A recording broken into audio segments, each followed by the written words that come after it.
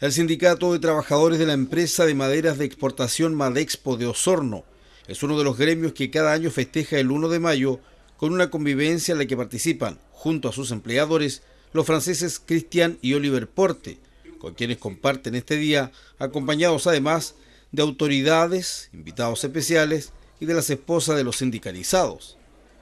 Su presidente José Milanca cuenta ahí noticias que siempre han abogado por las buenas relaciones empresa-trabajadores. Por muchos años eh, se está organizado el, mundo del sindicalismo, que se está haciendo una gran lucha para poder eh, eh, tener buenas relaciones laborales, tanto como para nuestros asociados y como para todos los trabajadores, yo creo que en nuestro país y en el mundo entero. Para José Milanca y su directorio, que además integran David Vera y Víctor Saldivia, las buenas relaciones laborales son fundamentales en cualquier empresa, lo que dijo mejora a su vez las condiciones de trabajo y de sus remuneraciones. Tenemos buenas relaciones con nuestro gerente, don Cristian Porte. Eh, en este momento hay un buen diálogo. Eh, acabamos de terminar una negociación y la, terminamos muy feliz, contento. Eh, en este momento estamos en, un buen pie dentro tanto con la empresa como con nuestros asociados que son los trabajadores. Y cuando ves el entorno, la realidad de los otros gremios, eh, ¿harías algún llamado especial a los...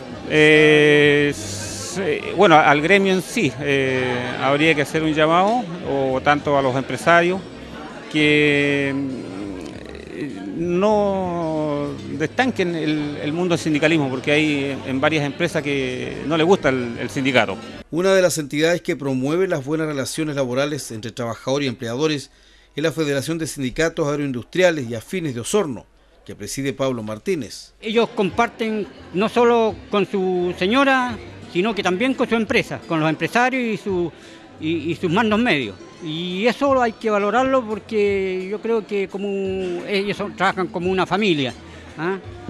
Usted parte de una federación, pero ve hoy día que los trabajadores están bien tranquilos o siempre hay falencia? Bueno, la, función principal de la federación es eh, el diálogo y todos nuestros sindicatos que están afiliados en, torno a la federación lo hemos preparado para enfrentar eh, un mundo que, avanza a gran velocidad y, las competencias entre las empresas también perjudican un poco a los trabajadores y nosotros buscamos eh, buscar un, diálogo, un entendimiento para trabajar en, conjunto, avanzar en conjunto. Esa es nuestra meta. Para la Inspección Provincial del Trabajo de Osorno es fundamental que empleadores respeten el cumplimiento de las normas laborales y entre ellas el descanso del 1 de mayo.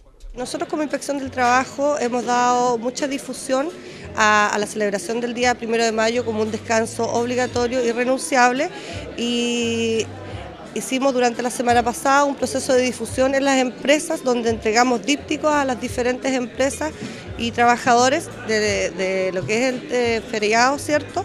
Y tenemos fiscalizadores que están viendo el cumplimiento de la norma, tanto ayer, que tenían que estar cerrados todos los locales a las 21 horas, y eh, se pueden reabrir, ¿cierto?, el día 2 de mayo a las 06 de la mañana.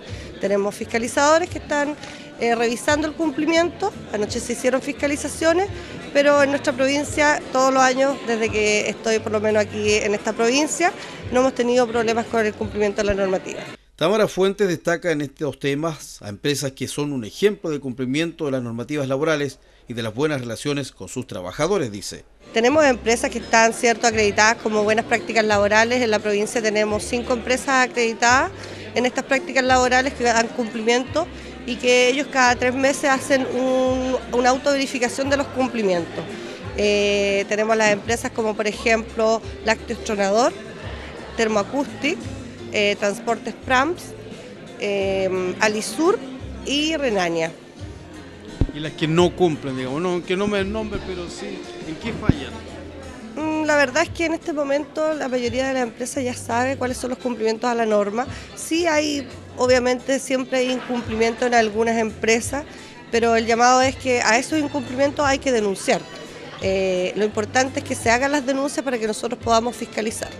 La inspectora provincial del trabajo en Osorno informó que el pasado 1 de mayo no se reportaron denuncias de empresas o empleadores que hayan hecho trabajar este día a sus eh, funcionarios y que durante la fiscalización de los inspectores no reportaron situaciones irregulares.